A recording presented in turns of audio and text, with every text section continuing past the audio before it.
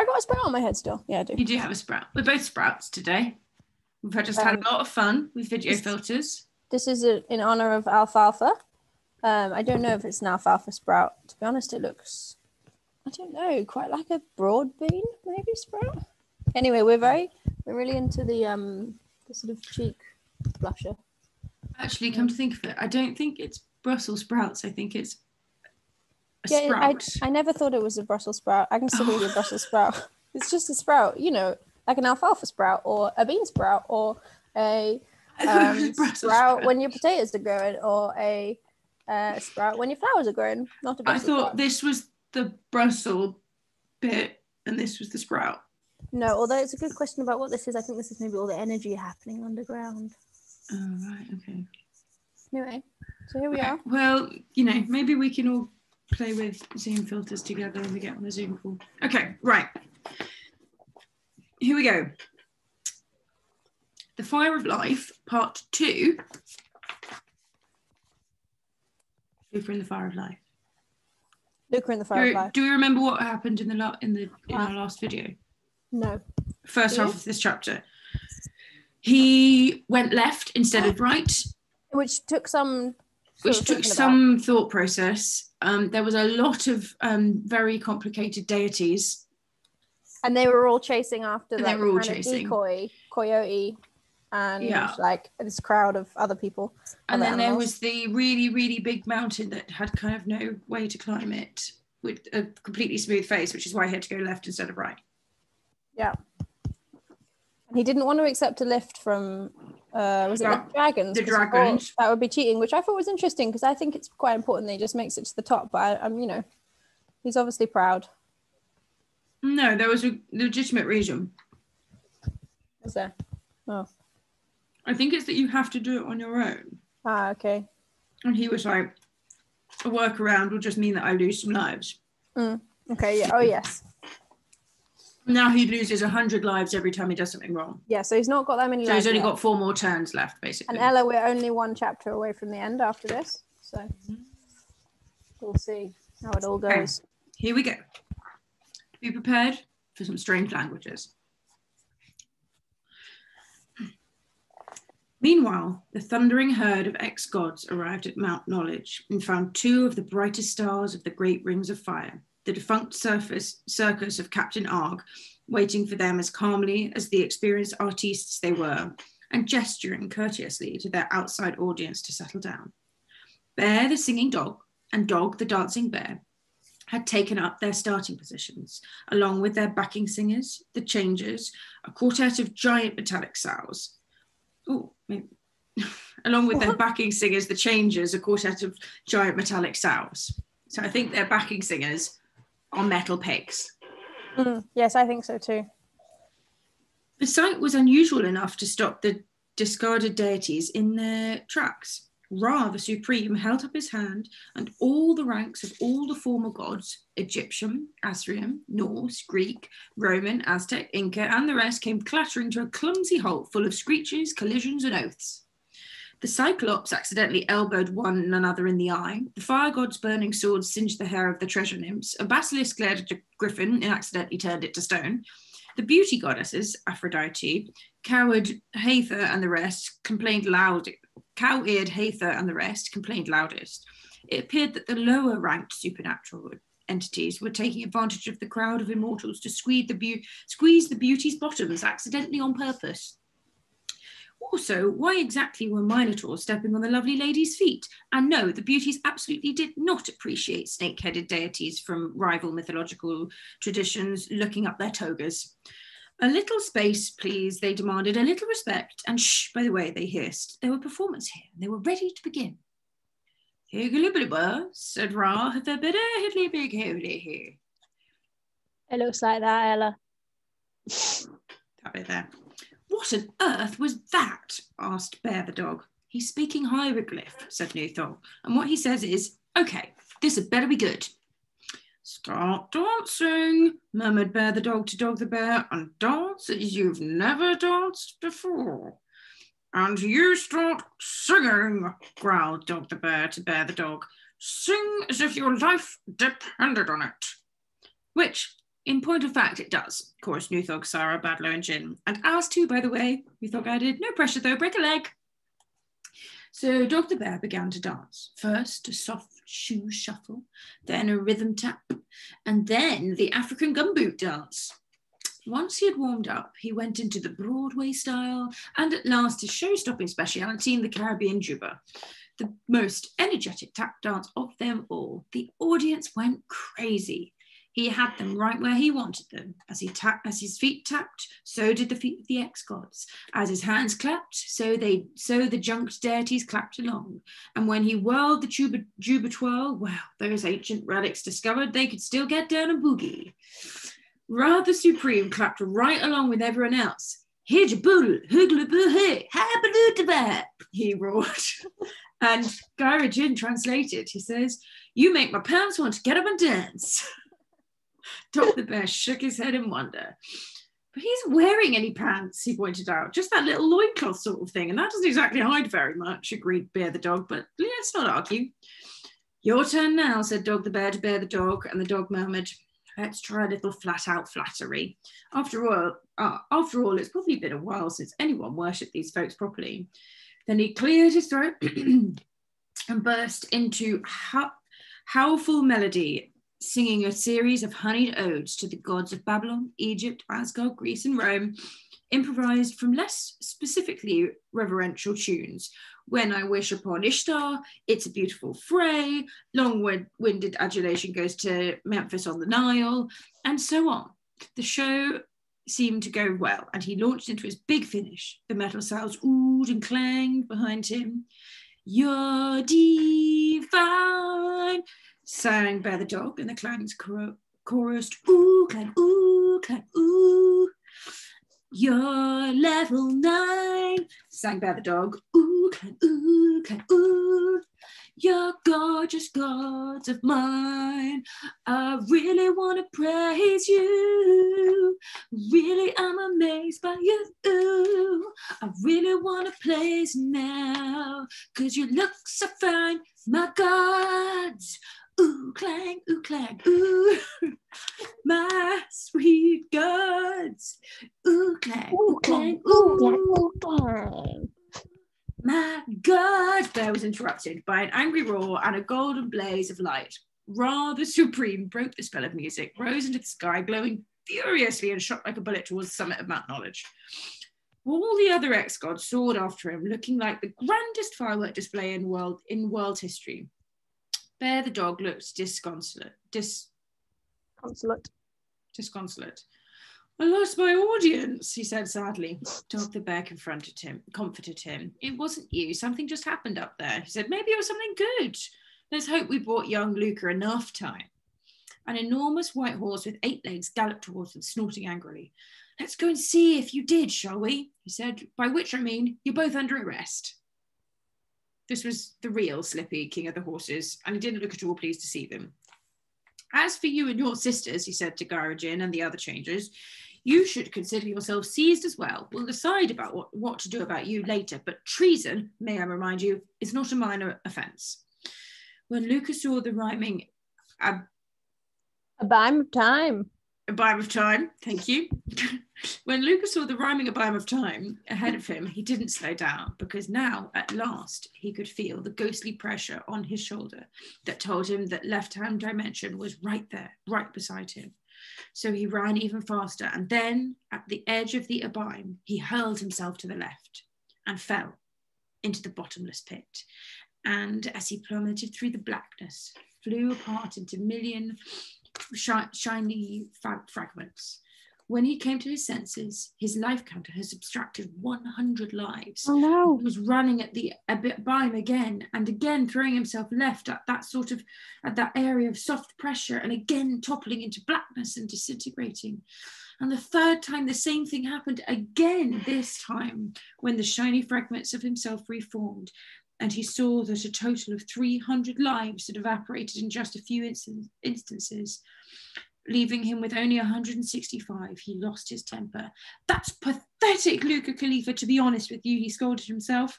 If you can't be serious now after coming so far, then you deserve the final permination you're about to receive.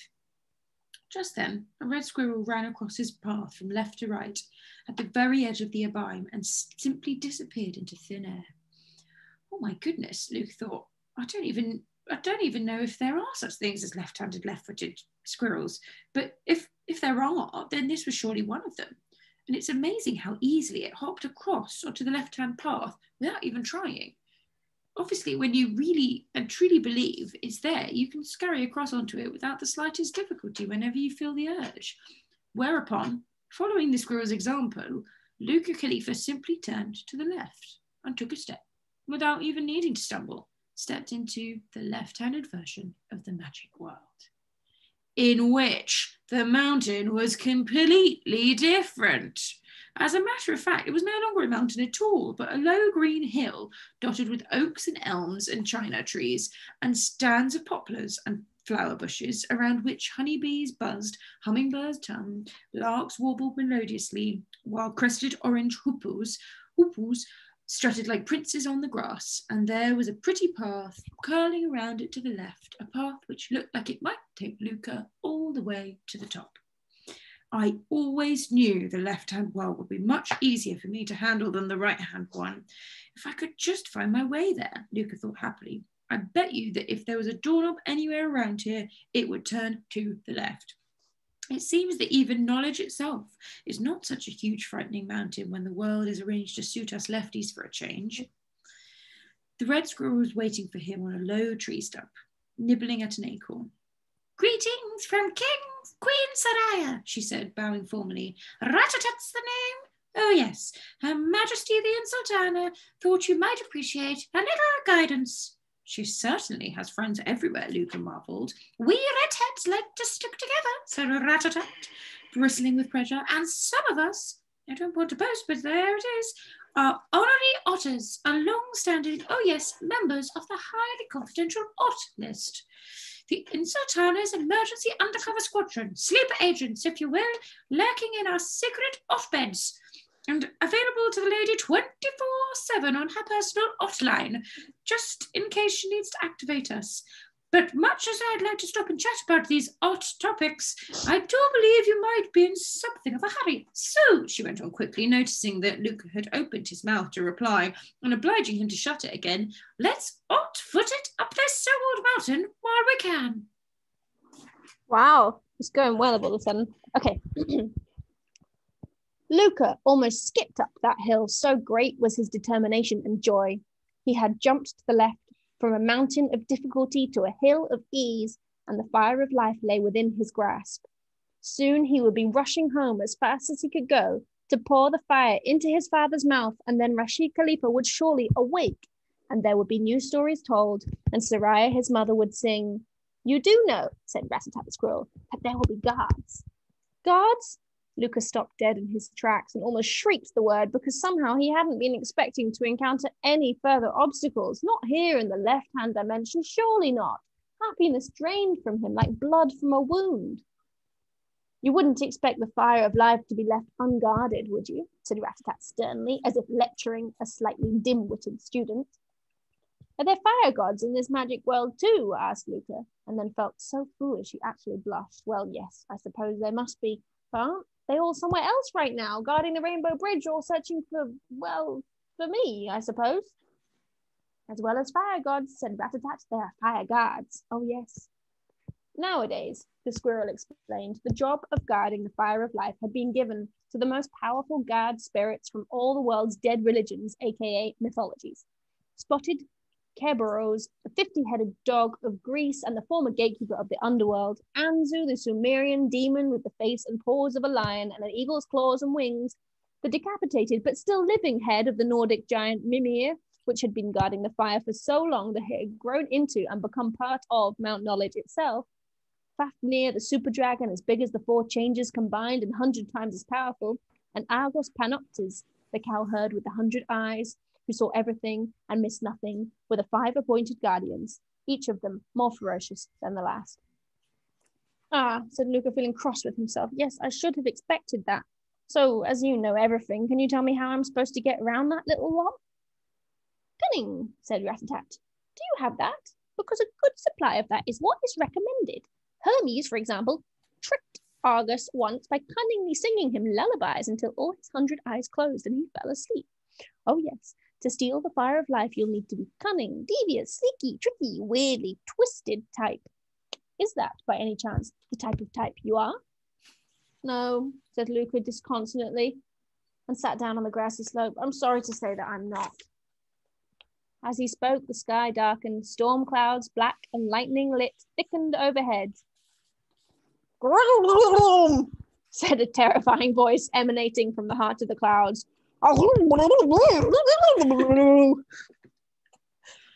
In that case, little Rat-a-tat translated through teeth that were chattering with fear, you might find this last step a trifle tough. As the gods rose like a swarm of hornets towards the summit of, summit of Mount Knowledge, the fire alarm sounded all clear, announcing the capture of the fire thief to the whole hut of magic. Bear the dog and Dog the bear, who were being carried up to the top on the horse king's back, heard the triumphant notes of the siren and were plunged into gloom. Nuthog and her sisters were flying alongside them with their tails very much between their legs. The jig is up, I'm so sorry to say, Nuthog told Bear the dog, confirming their fears. It's time to pay the piper. At that instant, the entire swarm of gods swerved sharply to the left and, to Bear and Dog's amazement, actually tore through the blue sky itself as if it were made of paper and charged through into another sky which was full of storm clouds. The Horse King and his prisoners followed the swarm through the gigantic rip into the left hand world, and Bear and Dog saw for the first time the transformed version of Mount Knowledge, which they both immediately thought to be the loveliest of green hills, even though the sky was dark and menacing, and at the moment so forlorn. At the summit of knowledge, there was, was a flower strewn meadow crowned by a fine, spreading ash tree. In spite of the tree's beauty, however, its name was the Tree of Terror, and under its boughs stood, stood Luca Khalifa with a red squirrel on his shoulder and the octopot hanging from his neck, guarded by his captor, Anzu the Sumerian thunder demon with his lion's head and eagle's body, who looked as if he was only just managing to restrain himself from ripping the boy to bits with his enormous claws. The rest of the fire guards, many-hearted Kerberos, Mimir, the head without a body, Fafnir, the super dragon, and Argos Panoptes of the hundred eyes, were also angrily at hand, and beside the great tree was a small, slender columned marble temple, scarcely larger than a humble garden shed. Inside the temple was a light that glowed with an almost shocking intensity, filling the air around the temple with warmth, radiance, and a crackle of energy, even in the thunderous mood of that time of failure, captivity, and imminent judgment. And above the pillared entrance to the temple stood a golden ball, the saving point at this impossible level's end. That's the glow of fire of life, Dog the bear growled quietly to Bear the dog. What a simple home it has at the end of such a grand journey, and how close we came, and how sad that we didn't. Bear interrupted. Bear the dog interrupted sharply. Don't say that, he barked. This isn't over. But in his heart, he believed it was. The trial began. Boom! roared Ra the Supreme, who seemed to have taken charge of events. Maat! The crowd of gods roared back, which is to say, roared or shouted or chirped or hissed, depending on the god in question. Boom! shouted Ra. Maat has been disrupted and must be restored, echoed the divine mob. Ra bellowed. Therefore, let Maat be done. What's Maat? Luca asked Rat-a-tat the squirrel. Ahem, said Rat-a-tat, raising her eyebrows and twitching her whiskers prof- professorially. It is a reference to the design, divine music of the universe. Oh, yes, and the structure of the world, and the nature of time, the most basic of all forces, which to interfere with is a crime. In short, Luca requested. Oh, said Rat-a-tat, looking a little disappointed. Well, then, in brief, Ra means that the order has been disturbed and justice must be done. Luca discovered all at once that he was feeling extremely annoyed. How dare this posse of has beens judge him? Who were they to tell him he should not try to save his father's life? This was the moment at which he saw his companions arriving on the scene, and the sight of his beloved dog and bear and the four loyal changers under arrest increased his irritation. These supernatural pensioners had some nerve, he thought. He would have to show them what was what. cried Ra the Supreme, and then Ella, I'm not going to read the rest of it because it's um. Oh yes, TX is showing you very long. Etc. Do I have to translate all that? said Ratatat reluctantly.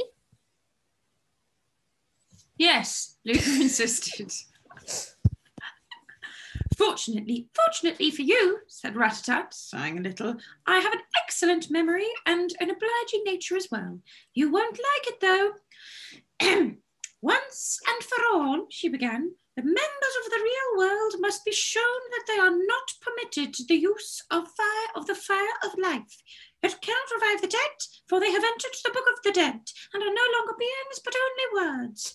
But to the dying it gives new life, and in the healthy it can induce great longevity, even immortality, which belongs to the gods alone.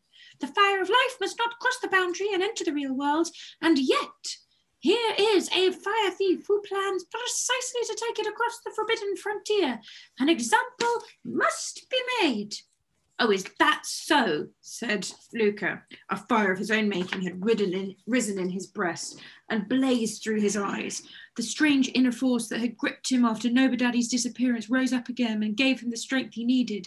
As it happens, he realized, I know exactly what to say. Then he called out so loudly to the assembled ex gods that they stopped roaring and hissing and chirping and whinnying and making all the other weird noises they habitually made and fell silent and listened.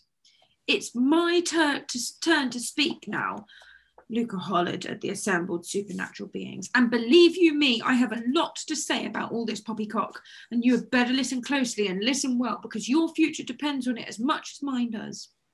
You see, I know something that you don't know about this world of magic. It isn't your world. It doesn't even belong to Arlim, whoever they are, where to the Arlim, whoever they are, where, whether they are lurking wherever wherever they are lurking right now. This is my father's world. I'm sure there are other magic worlds dreamed up by other people, Wonderlands and Narnias and Middle Earths and whatnots. And I don't know, maybe there are some some such worlds that dreamed up, dream themselves up.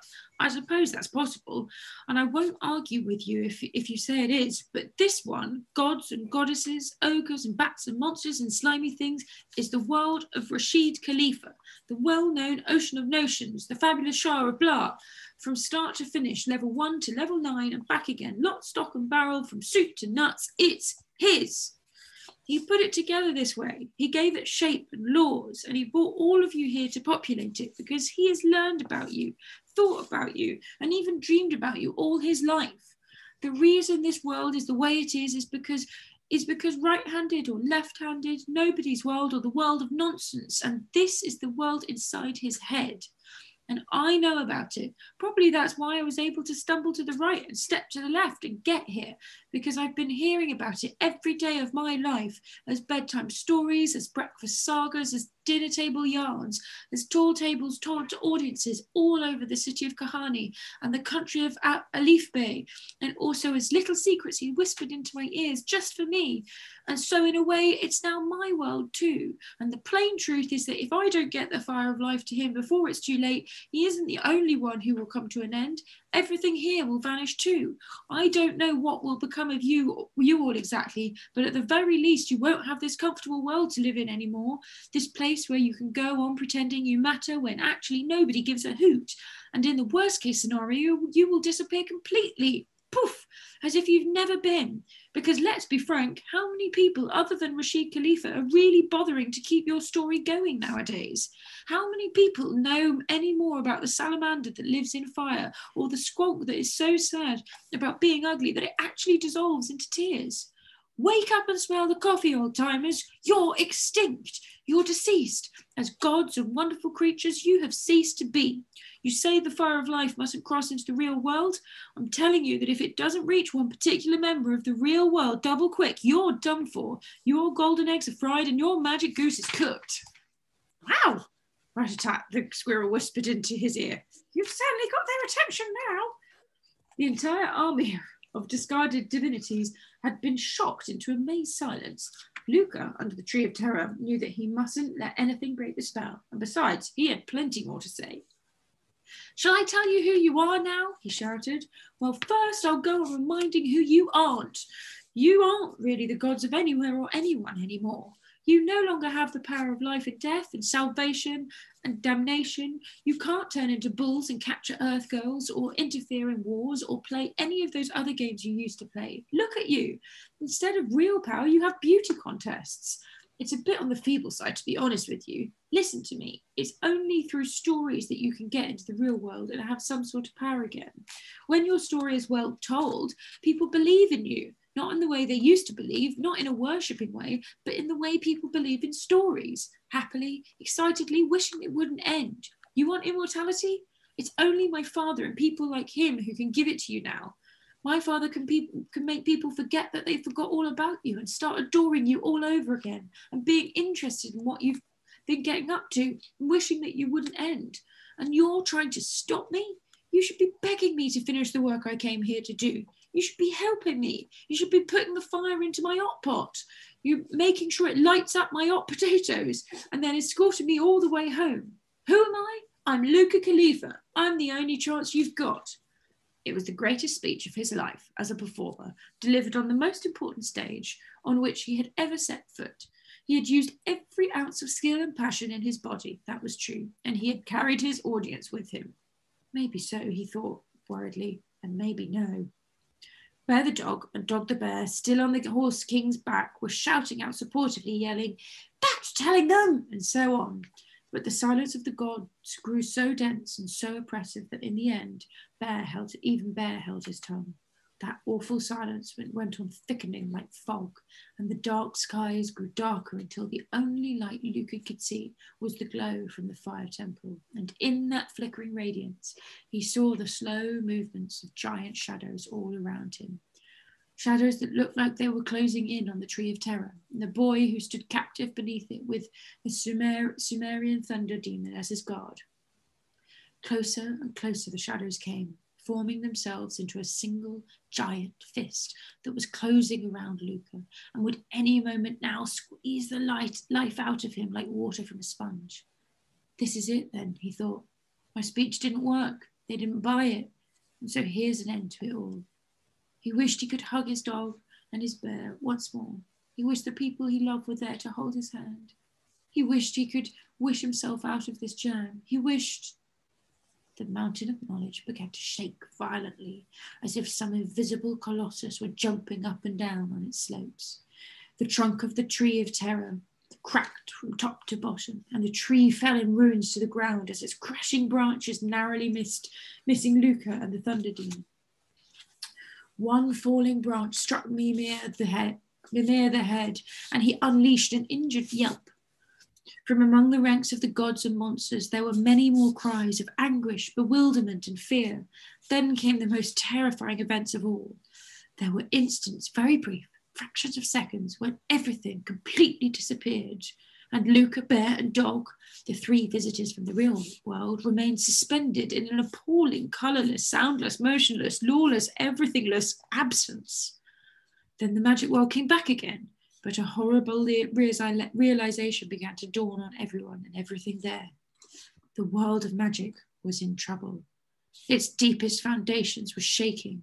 Its geography was becoming uncertain. Its very existence had begun to be an intermittent on off affair. What if the off moments started getting longer?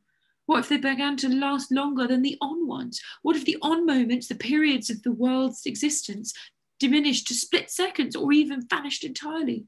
What if everything the fire thief had just told them was the naked truth in which they had until now refused to believe, closed as they all were in the tatters of their old divine glory and remnants of their pride? Was this the bare, unvarnished reality that their survival was tied to the ebbing life of a sick and dying man? These were the questions plaguing all the inhabitants of the magic world. But in Luca's panicked, racing mind, there was, there was a simpler, more horrifying query. Was Rashid Khalifa about to die? Anzu, the thunder demon, fell to its knees and began to plead with Luca in a soft, sad, piteous voice.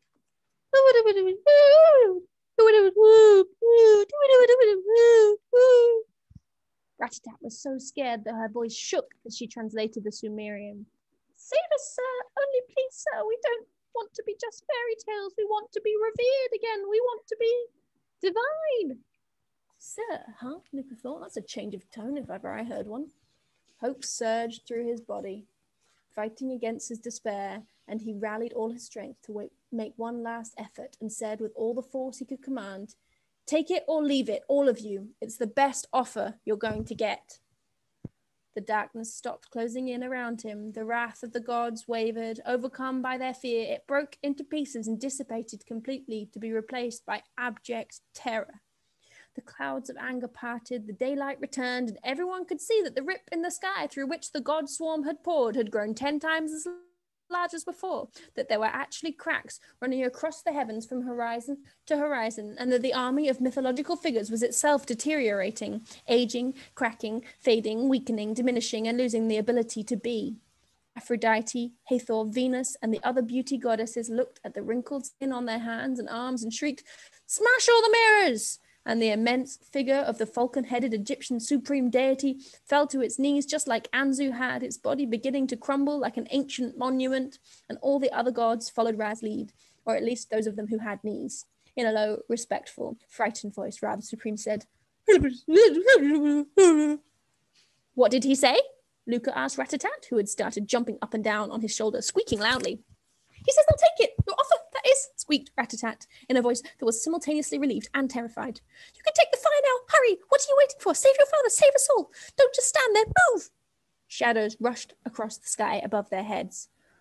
Well, Will you look at that? said the welcome voice of the Insultana of Ott. I thought I was leading my loyal Otter Air Force on a doomed but gallant rescue attempt of an incompetent but oddly likable young fellow, because, in spite of your foolhardiness, in the final analysis, I couldn't stand by and leave you to your fate with only my honorary Otter Ratatat to represent me. But I see, to my considerable surprise, considering what a foolish boy you are, that you have managed pretty well on your own. There, in the newly cloud free but also decaying sky above the mountain of knowledge, was the entire OAF on its flying carpers, with quantities of rotten vegetables and itching powder paper planes at the ready, and Queen Soraya at their head aboard Resham, the flying carpet of King Solomon the Wise, along with Coyote the decoy runner, the elephant birds. We came too, they shouted down. We don't just want to remember stuff, we want to do stuff too. And a male stranger of great age and improbable size, who was also completely naked, with a heavily scarred midriff. Luka didn't have time to reply to anyone, or to ask who the naked stranger was, or even to embrace Bear and Dog, who had jumped off the horse king's back and rushed to his side. I have to get the fire, he cried. Every second counts. Bear the dog reacted at once and charged at breakneck speed into the fire temple to return a few seconds later with a burning wooden brand between his teeth, ablaze with the brightest, most cheerful, most attractive, most hopeful fire Luka had ever seen and Dog the bear climbed the columns of the fire temple and, with one great paw, hammered the golden ball over the entrance as hard as he could.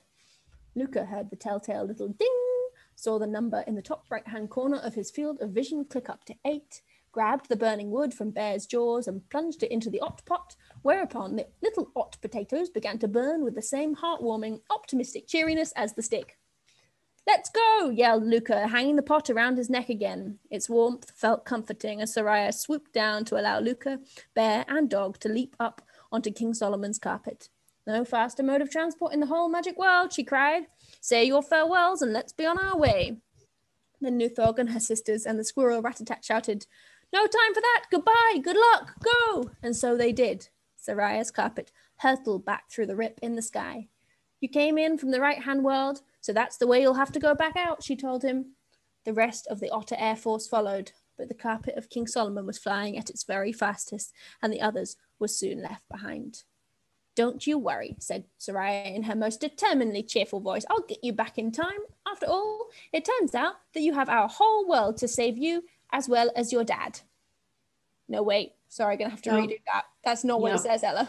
No, After all, it turns out that you have a whole world to save as well as your dad, which is very, Very different. different. from what I just said. Ta-da! End of chapter seven.